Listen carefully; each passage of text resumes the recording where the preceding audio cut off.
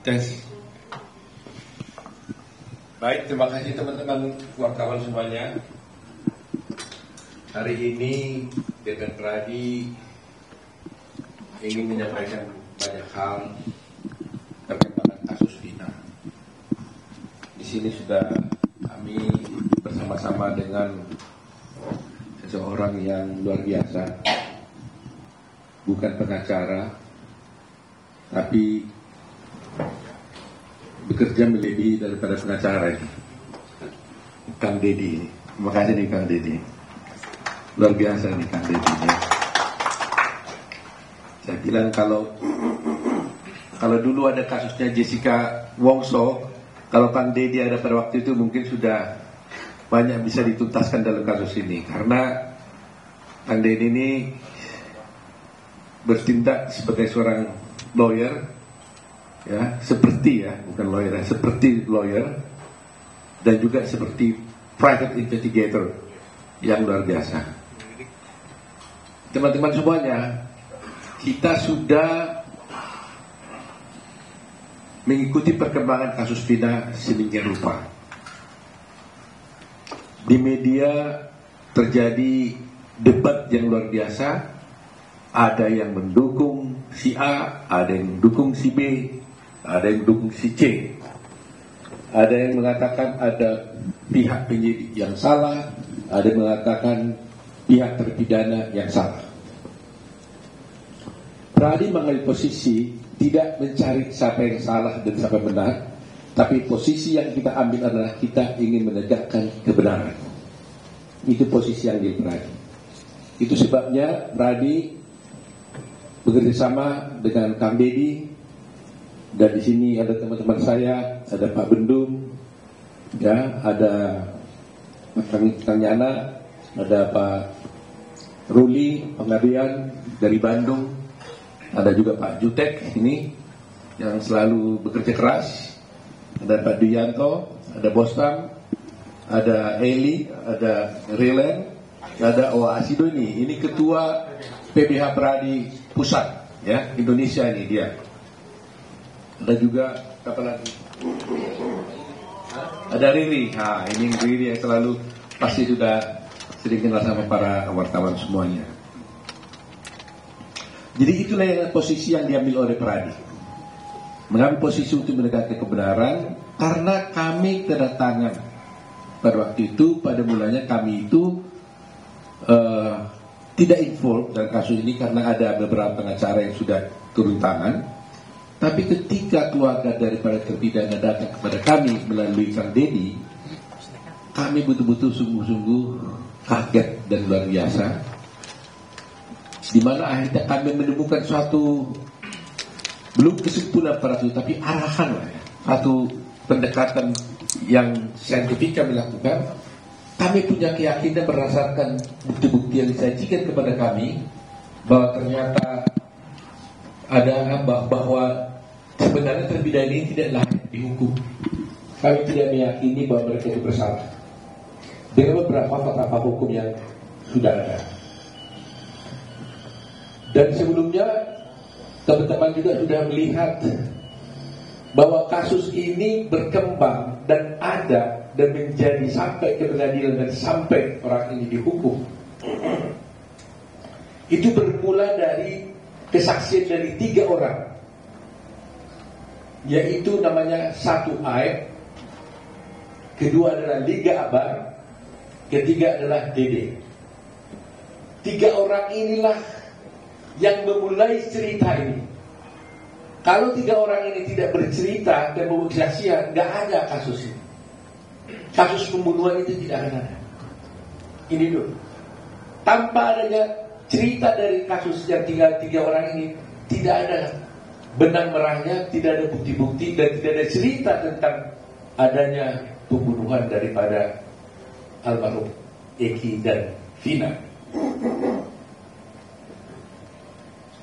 Tiga orang ini kan bercerita tentang semua adanya pelemparan-pelemparan, pengejaran-pengejaran, adanya bambu dan sebagainya, termasuk adanya samurai-samurai, batu yang dilempar dan sebagainya. Nah, Kita sudah tahu dari tiga orang ini Liga Akbar sudah mencabut keterangannya dan menyatakan sebenarnya cerita itu tidak benar. Gitu ya. Betul. Hari ini kita mendapatkan bukti yang luar biasa melalui Kang. Keluarga dari Dede menghubungi Kang Dedi. Kita kedatangan di sini yaitu Dede.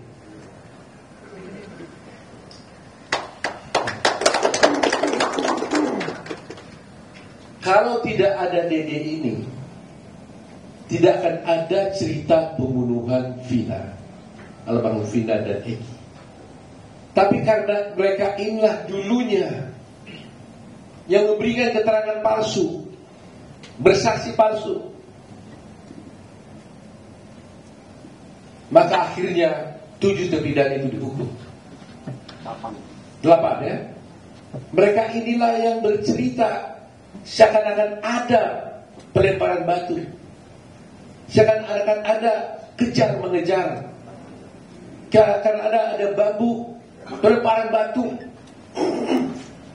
yang mengesankan bahwa ada akhirnya peristiwa pembunuhan terhadap almarhum Vina dan Eki karena kesesatan palsu mereka. Tapi berdasarkan keterangan yang diberikan kepada kami dan dia nanti bisa kita tinggal cerita bahwa dia ternyata melakukan perbuatan itu karena terjebak sama air.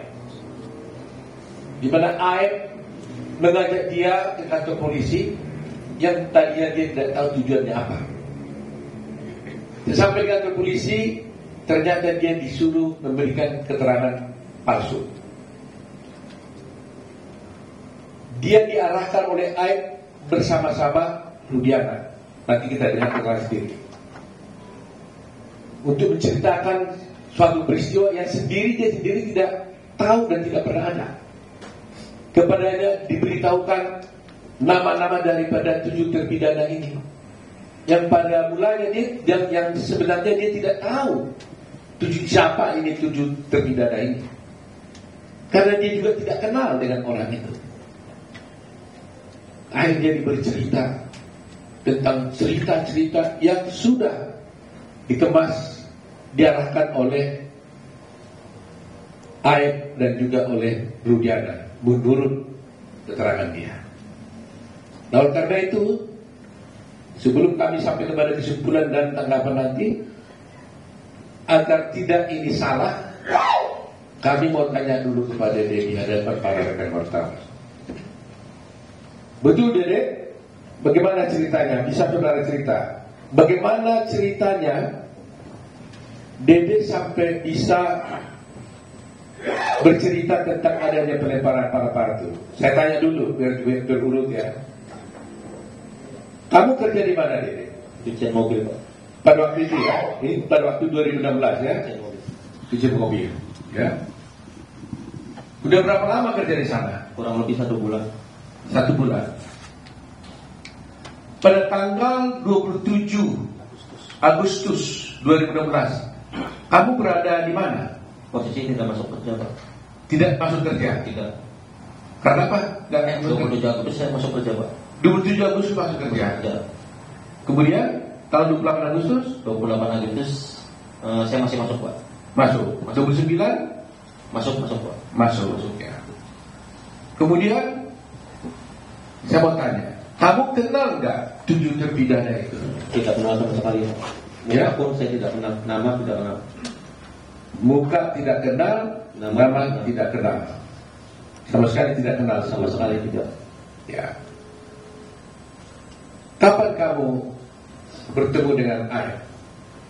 Ya pada saat itu Pak kerja di kerjaan saya mengenal ayat di kerjaan. Oh, ayah itu juga bekerja di sama sama kamu. Iya, di situ. Nah, coba ceritakan bagaimana ceritanya Aep mengajak kamu ke kantor polisi. Awal mulanya malam Pak.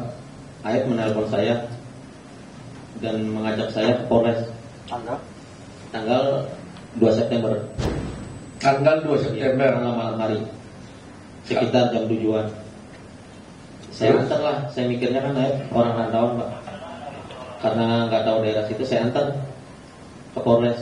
Nah setelah dalam Polres saya tanya, eh mau ngapain di sini? Kata Aep, buat keterangan saksi anaknya Pak Rudiana yang meninggal. Nah setelah itu kasih saya tanya, Aep emang mau ngapain kan? Kita tidak tahu peristiwa itu. Nah, udah katanya nanti saya arahin, saya ikutin, ikutin kalau kata saya. kan. Dia bilang itu. Nah terus Pak Rudiana datang lah. Saya tanya ke Pak Rudiana juga, Pak Rudiana mau ngapain? Buat keterangan apa? Saksi anak saya meninggal. Kan. Nah di situlah diceritakan saya nongkrong di warung. Kalau ke warung itu bener pak, warung malam hanya membeli rokok. Cuman ada segerombolan anak anak nongkrong, pelemparan batu, bambu, pengajaran, segerombolan motor ada di situ sebenarnya nggak ada Pak.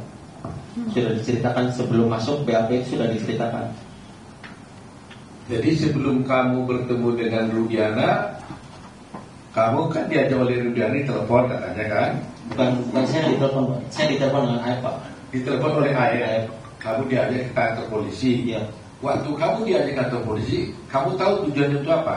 belum tahu Pak saya nanyanya pas sudah masuk Polres Pak di dalam Apa katanya waktu kamu diajak ke kantor polisi? ya saya tanya pas di dalam eh mau ngapain sih buat jadi saksi anaknya Pak Rudiana Enggak, sebelum sebelum oh saya nggak pernah nanya Pak cuma nggak nanya Pak Oh, dia Saya ada. Oh, Saya kalau antar saya ke kantor polisi gitu. Iya. Oke, setelah kantor kantor polisi, Iya. apa yang terjadi? Ya saya tanya buat buat ngap, mau ngapain di sini? Buat keterangan saksi kan? Hmm. Saksi siapa? Pak Rudiana yang anaknya meninggal. Oh, itu kata ayah. Iya. Nah, kemudian kamu bertemu dengan Rudiana di mana? Di situ juga. Di situ juga saya tahu Rudiana pun saat di situ. Oh, kamu kenal Rudiana saat di situ. Saat di situ. Waktu dia pakai baju apa dia? Baju preman atau baju Baju preman sih baju biasa. baju polisi? Apa? Dikenalkan sama ayah siapa ini gitu? Iya, dikenalkan sama ayah ini Pak Rudiana. Dikasih tahu ini Pak Rudiana, ini ini Pak Rudiana. Apa lagi? Bapaknya bapaknya Eki.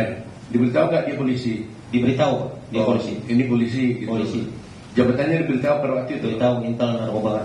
Oh, itu narkoba katanya. Diberitahu gitu ya. Diberitahu. Nah, lantas apa kata ayah kepada kamu? Ya saya bilang ke Pak Rudiana juga pada situ, Hmm. Pak, buat jadi saksi apa? Anak saya meninggal katanya. Hmm. Nah, sedangkan saya tidak tahu kejadian itu Hmm. Dan saya pun tidak kenal nama-nama dan muka dan peristiwa itu emang tidak tahu sama sekali Pak. Nah, terus apa kata Rudiana? Kata F, kata F. Rudiana, dia bilang Pak, ya udah ntar saya kasih tahu katanya. Ya setelah dikasih tahu, pada saat nongkrong di situ, pada saat ke warung ada orang segerombolan nongkrong, terus melihat pelemparan batu kepada anaknya Pak Rudiana, nah, terus dilempar batu itu tidak kena, terus pengajaran membawa membawa bambu, nah terus setelah itu ya tidak tahu kejadian itu lagi Pak. Setelah pengajaran tidak tahu, sudah sampai situ doang. Tadi kan kamu ceritakan bahwa kamu di, diarahkan oleh AF dan Rudiana. Saya mau lihat peran masing-masing. AF ngomong apa, Pak Rudiana ngomong apa. Ayah ngasih tahu, bilang aja ya ada segerombolan orang di situ Pak. Baik. Terus Pak Pak Rudiana Pak Rudiana ngasih tahu masalah motor sama nama Pak. Sama nama. Iya, motor dan nama saya tahu dari Rudiana. Dikasih tahu sama Pak Rudiana. Oh, nama-nama pelaku. Nama-nama pelaku. pelaku. Iya. Apa katanya waktu itu? Nah, kan saya bilang saya nggak kenal Pak nama-nama pelaku. Nah, Muka pun nggak kenal. Terus kata Pak Rudiana, ya udah ntar saya kasih tahu nama-namanya pelakunya. oh dikasih tahu. Dikasih tahu. Masih ingat nggak nama-nama itu? Nggak ingat pas ya Pak. Oh, tapi- Nggak mengingat soalnya kan nggak kenal Pak. Oh. Tahu nama pun pas saat di situ kan dikasih tahu Pak. Oh, tapi di situlah diberitahu katakan gini aja katanya. Dia.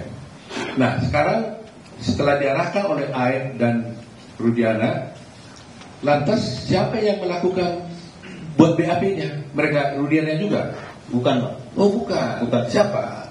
Ya penyidik di situ Pak. Oh penyidik. Penyidik di situ. Jadi kamu diarahkan oleh Aib dan Rudiana dulu, setelah itu baru di BAP oleh oleh kejadian penyidik yang lain. Iya. Oh. Jadi penyidik yang lain ini nggak pernah mengarahkan kamu lagi dong? Nggak pernah Pak. Yang mengarahkan justru di si Iya. Rudiana dan di lainnya gitu. Sebelum masuk itu Pak. Ya karena memang selalu terjadi begitu kan yang mengukuli dengan yang menyidik kan selalu beda. Supaya yang menyidik kalau upaya menyidik di- ditanya pernah kamu dipukuli penyidik pasti nggak pernah mengukuli tapi dipukuli dulu sebelum jadi luar. Kira-kira begitu cerita-cerita film yang kita nonton lah gitu ya. ya, kan kira-kira begitu ya. Dan ini sekarang diarahkan oleh ini. Jadi penyidiknya tidak pernah mengarahkan, tapi sudah diarahkan oleh Parudiana dan AR. Begitu ya. Nah, kemudian setelah itu terjadi di BAP, BAP seperti biasa pak. Ditanya. Ditanya aja ya, ditanya. Kau ceritakan seperti yang diarahkan itu. seperti yang diarahkan sebelum masuk Ya, saya mau tanya, kenapa kau mau? sebenarnya hati saya mas sebenarnya nggak mau pak. Kan saya juga sudah bilang pak saya tidak tidak tahu kejadian itu sama sekali dengan Aib dengan Pak nah pada saat itu kan saya rakyat kecil pak saya nggak ngerti hukum sekolah pun saya hanya SMP ya saya merasa takut pak sudah dialami saya bisa apa di situ pak Ya, tapi kan namanya kan kamu kan tuh merasa berbuat, kenapa nggak nolak aja? Apa kamu diiming-iming? tidak ada sama sekali pak diiming Enggak. tidak ada sama sekali Tapi kok kan orang bertanya, kok semudah itu kamu langsung diajak, diajak ini langsung kamu mau gitu? Kenapa? Apa? maunya kan karena tidak tahu bahwa mau ke situ kan diberi buat kesaksian anaknya Pak Rudiana Pak. Mungkin kalau saya tahu, saya ngasih tahu sebelum masuk Polres saya nggak mau Pak. Ya, tapi setelah di dalam Polres, terus kenapa jadi kamu mau? Karena takut Pak. Takut sama siapa? Ya takut karena sudah di dalam Polres itu Pak. Loh kenapa? Kalau di dalam Polres kenapa banyak? Ya karena saya nggak ngerti hukum. Loh iya, karena Polres apa? apa? Ada kamu dipukul nggak? Enggak sih Pak. Apa karena perlu ada polisi itu? Nah iya bisa jadi Pak. Macam bisa jadi, ya benarnya di mana? Ya emang karena polisi Pak saya takut. Jadi artinya kamu merasa takut Ya merasa takut. karena sudah berada di kantor polisi, Ya karena kamu diminta oleh Pak yang ke polisi, Ya. kamu ikutin aja. ya. Nah waktu itu kamu tahu lah akibatnya itu waktu itu ya. Saya tahu Pak akibatnya. Pasti tahu saya. Ya setelah di BAP pun kan saya ngomong ke Aib Pak. Ya. Saya bilang Aib, Aib, kenapa membuat kesaksian seperti ini kata saya Hmm. kan bakal berat ke depannya udah katanya saya kesal sama terpidana itu pak Kata ayah. iya Kenapa? karena pernah dipukuli pak Oh, si Aib cerita bahwa dia pernah dipukuli oleh Eh, warga sekitar di situ pak Oh, Aib merasa apa? dipukuli dengan Dipukuli warga oleh warga situ, bukan oleh terpidana. Iya ada terpidananya Ada. Terpidana. Jadi merasa kesal ya, Merasa kesal. sehingga diarahkan. Gitu. ya beda Nah, gitu. Nah, kamu diperiksa itu di mana? Di Polres mana itu? Polres Cirebon Polres Cirebon. Nah, setelah di Polres Cirebon, apakah kamu pernah juga diperiksa di Polda? tidak pernah sama sekali 2016 pak Hah? Tidak pernah. tidak pernah Tetapi di sini kita lihat ada berita acara kamu juga ada di Polda. Jadi di sini ada wartawan kita lihat ya. Ini ada berita acara di sini di Polres dan juga ada acara berita acara di Polda. Tapi dia merasa kamu tak pernah tangan berita acara yang di di Polda tidak pernah pak 2016 saya tidak pernah tanda di. Polda kamu tidak pernah tanda tangan berita acara di Polda. di BAP pun tidak pernah ke sana pun tidak pernah Kamu tahu di mana Polda? tidak tahu sama sekali pak Sampai sekarang kamu tidak tahu Polda. tidak tahu sampai Tahu? Sampai sekarang pun istilahnya tidak tahu ada yang sekarang 2024 mah udah pak. Cuman kan kalau jalan tetap saya nggak apa pak. Gak artinya yang sebelum tahun 2004 Batu itu kamu tidak pernah ke Polda. tidak tahu pak sama sekali Tidak tahu ya. tidak tahu. Soalnya di sini ada berita acara kamu di Polda pada tanggal 23 November. Itu nggak ada ya, nggak ada pak.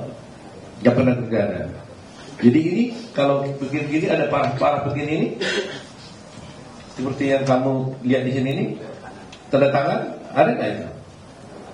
tanda tangannya pun agak beda pak Kamu nggak pernah tanda tangan ini? ya disamain sama yang 2016 di Polres itu pak beda pak Oh gitu. Tapi kamu intinya kamu tidak pernah tanda tidak tangan. pernah dan di sana pun tidak pernah pak di, di BAP pun di Polda tidak pernah 2016 Baik. hanya di Polres Cirebon Saya mau tanya lagi. Kamu pernah disumpah nggak oleh polisi? tidak pernah sama sekali Hah? tidak pernah Nggak pernah.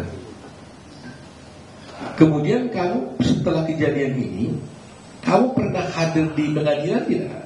Untuk bersaksi. tidak pernah sama sekali Kamu tidak pernah datang di pengadilan dan tidak pernah menjadi saksi di pengadilan pada waktu itu. tidak sama sekali Kalau menurut keterangan Pak Jutek gimana tuh? Dia belum keputusan pengadilan dia Benar ada kata-kata di situ bahwa dia ada memberikan keterangan di bawah sumpah. Iya, di, di, di Dalam putusan. Dalam putusannya. Jadi di dalam putusan, kebetulan Pak Jutek yang lihat ada Bagaimana Pak Jutek jelaskan? Ada ada Mem- memberikan keterangan di bawah sumpah. bahwa DD ini memberikan keterangan di bawah, di bawah sumpah. Ya. Ada dalam putusan. Ada dalam putusan. Padahal dia sendiri tidak pernah datang di pengadilan dan tidak pernah memberikan keterangan apalagi di bawah sumpah. Begitu ya Pak? Gitu Iya, ya? Nah. Nah ini ini menjadi jadi ini yang yang menjadi masalah kita ini. Jadi di pengadilan pun ada putusan menyatakan dia adalah memberikan keterangan di bawah sumpah, padahal dia sendiri tidak pernah datang ke pengadilan, apalagi bersumpah. Saya mau tanya, kok kamu gak datang ke pengadilan? Kenapa kamu diberi berita acara di Polres? Iya Pak. Apa kamu dari dipanggil pengadilan? Dipanggil Pak. Ada surat surat panggilannya datang Oh ada. Ada. Terus kurang gak datang? Nggak datang Pak karena takut. Cuma saya nanya Pak, pas surat datang, saya nanya ke Pak Rudiana, Pak ini gimana? Ada surat panggilan dari pengadilan. Udah katanya nggak usah datang, biarin aja. Jadi ada panggilan dari pengadilan Ada. kepada kamu untuk melakukan tugasmu sebagai warga negara bersaksi di pengadilan, tapi kamu dilarang oleh Dilarang oleh Rudiana. katakan bagaimana? Tidak, Pak, ada surat pengadilan datang kata saya. Bagaimana ini? Nah kata Pak Rudiana, udah usah datang katanya, biarin aja. Jadi Pak Rudiana menurut dia itu tadi menyuruh tidak usah datang ke pengadilan. Ya. Jadi sekali sudah tahu tuh pasal apa yang dilanggar di situ kalau seperti itu kan. Melarang orang tidak datang ke pengadilan padahal itu adalah kewajiban hukum dia. Tapi Rudiana menang benar. Saudara tahu kenapa nggak kenapa kamu dilarang datang ke pengadilan? Tidak tahu Pak, Tidak. hanya bilang itu saja. Oh hanya mikir bilang itu saja. Jangan datang, tidak perlu datang ke pengadilan. Datang, tenang aja. Pertanyaan saya terakhir ini, jadi Bisa kasih dia, Pak. dia kasih buka. kenapa kamu tiba-tiba sekarang mau datang ke sini? Karena saya mikir merasa bersalah Pak. Ya selama 8 tahun pun sebenarnya saya mau jujur Pak. Mau mengungkap ini sebenarnya Pak. Cuman saya bingung Pak, mau mengungkap siapa Pak? Pendamping pun saya nggak punya. Sebenarnya selama 8 tahun saya merasa bersalah Pak. Bayangin Pak, saya hidup enak di sini Pak, bisa kerja, bisa nikah istilahnya Pak, sama anak istri bisa bahagia. Sedangkan dia di penjara sumber hidup Pak. Saya merasa berdosa selama 8 tahun, merasa Pak. Nah saya putuskan kemarin Pak, seminggu sebelum saya bertemu Kang Deddy, saya putuskan benar-benar Pak. Saya tekad saya harus bulat, saya harus menerima resikonya, apa pun resikonya, entah entah ada hukuman buat saya, saya terima Pak. Siapa yang menghubungi kamu datang ke, Pak Didi? Inisiatif kamu sendiri atau gimana? Inisiatif saya sendiri Pak, tapi rundingan sama keluarga Pak. Teteh dulu, Oh, jadi setelah lihat viral-viral begini, kamu rundingan sama keluarga. rundingan sama keluarga. Nah, apa? Gimana rundingannya? Ya. Teteh Pak, sebelum eh, tiga sebulan setengah viral itu Pak, Teteh pernah bilang Pak, Dek, apa datang aja ke Pak, Pak Dedita? Kata saya bilang, nanti aja lah, karena saya belum siap Pak. Masih takut dan bingung kehilangan pekerjaan Pak. Nah terus setelah dorong dorong keluarga dorong terus, nah seminggu sebelum ke Pak Dedi, nah, tekad saya bulatin, fisik saya kuatin, saya bilang malam itu juga jam 11 saya bilang udah kontak Pak Dedi di Instagram cuman tidak direspon Pak Terus? baru saya ke TikTok Ferry Terus? ke TikTok Ferry teteh tuh suruh ke TikTok Ferry terus direspon alhamdulillah Pak Jadi teman-teman wartawan sudah dia di sini. Yang menghubungi Kang Dedi ini adalah dia. Kita tidak mencari-cari, ti- tidak bertemu menemukan Dedi. Dedi sendiri yang berunding dengan keluarganya merasa bersalah dan akhirnya datang menemui Kang Dedi. Dan Kang Dedi membawa ke sini. Pokoknya saya tegaskan intinya saya keluar itu bukan dicari dengan Pak Dedi, bukan ada yang dari luar menyuruh saya, karena ini inisiatif saya sendiri merasa bersalah. Dan keluarga ada dorongan dari keluarga udah selebihnya nggak ada lagi. Dede, Ya, Kamu kan tadi mengaku sudah bersalah melakukan memberikan keterangan palsu dulu atas arahan daripada uh, Aed dan juga Rudiana. Ya, kita juga pernah melaporkan kamu juga, ya Pak. ya kan? Tapi sekarang kamu datang mengaku bersalah. Kamu tahu risikonya ini, bekam. Tahu Pak, sangat tahu resikonya. Kamu tahu bahwa kamu bisa dipenjara gara-gara pengakuanmu sekarang ini. Tahu Pak, saya siap resikonya Pak.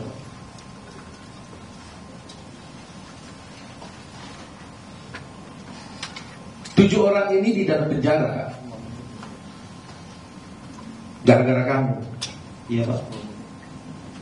Kamu bersedia nggak masuk penjara supaya tujuh orang ini keluar? Sangat bersedia Pak. Yang penting intinya perbedaan itu saya mau keluar Pak, bebas. Seperti kehidupan saya kemarin Pak. Karena saya merasa bersalah. Meskipun kamu masuk penjara, Siap Pak. Meskipun saya masuk penjara menggantikan tujuh perdana itu saya siap Pak. Jadi kau siap tujuh penjara tujuh orang keluar, kamu masuk penjara Siap, saya siap Pak. karena kau merasa bahwa mereka masuk penjara gara-gara kamu. Bukan saya Pak.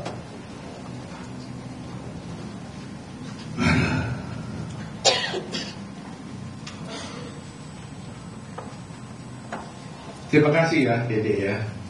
Walaupun kamu ini sudah berbuat salah, tapi Tuhan menolong bahwa kamu bisa dibuka hati pikiranmu untuk menegakkan kebenaran. Kalau kamu tidak bisa datang di sini, bayangkan mereka itu akan ada di sana seumur hidup. Seumur hidup. Semula keluarganya bukan teraniaya semua. Dan keadilan menjadi tidak tercapai. Republik menjadi hancur. Tapi dengan keberanianmu ini, meskipun kau bersalah, ya saya harap di dalam hukum sebenarnya Dede, saya bisa jelaskan sedikit. Belum tentu juga kau bisa harus dihukum, walaupun kau bersalah. Karena di dalam hukum itu Dede, ada juga namanya alasan pemaaf. Ada alasan pembenar. Ya. Ada alasan penghapus untuk apa pidana dan sebagainya. Mudah-mudahan hakim nanti kalau kamu harus diproses ya karena hukum ini kan ada yang formal. Formalnya kamu bersalah. Memberikan kesaksian palsu di pengadilan akhirnya orang dihukum. Akhirnya dihukum sampai seumur hidup. Apakah nanti pemanya dengan pengakuanmu itu mereka jadi bebas. Kau tetap harus diproses pidana saya tidak bisa katakan apa-apa. Tergantung kepada kepolisian dan juga pada pengadilan apakah memberikan hukuman pada kamu. Tetapi karena keberadaan untuk berbuat baik untuk bertobat menyatakan kebenaran kami tetap dari kerajaan akan bela kamu.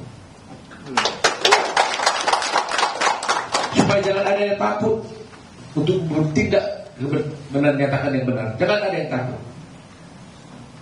Seperti Dede berbuat salah tapi bertobat mengaku bersalah. Mudah-mudahan ada alasan pemaaf buat kamu. Hmm, ya yang diberi oleh hakimnya jadi sekali lagi ya berani kamu ya? Berani Pak. tujuh orang keluar kamu masuk penjara menggantikan mereka. Iya Pak. Intinya saya keluar, ini tujuh perdana itu saya keluar. Ya mudah-mudahan mereka keluar. Nanti saya lebih senang Pak.